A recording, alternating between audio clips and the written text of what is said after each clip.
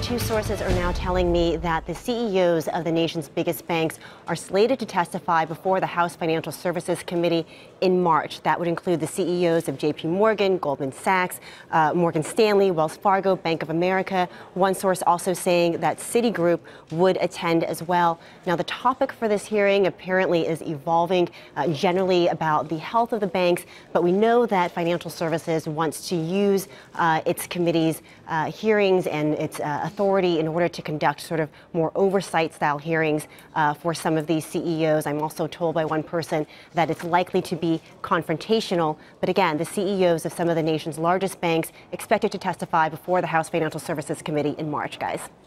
Ylan, I'm really interested in, in, the list of banks here. JP Morgan, Wells Fargo, Bank of America, Goldman Citi. That's five of the six biggest. Morgan Stanley left off the list. Uh, I did, men- I did mention Morgan. Oh, you did mention yes, Morgan Stanley Morgan, as well. Yes. Okay, sorry. All six of the biggest banks then.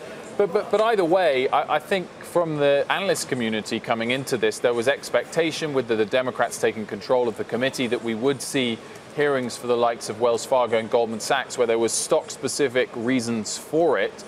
I don't know whether to take from this that all six are going to be included, whether the tension will be reduced, or, or whether all of these banks are going to be, uh, you know, grilled, as it were, or, or, or the tone therefore can be more positive in general.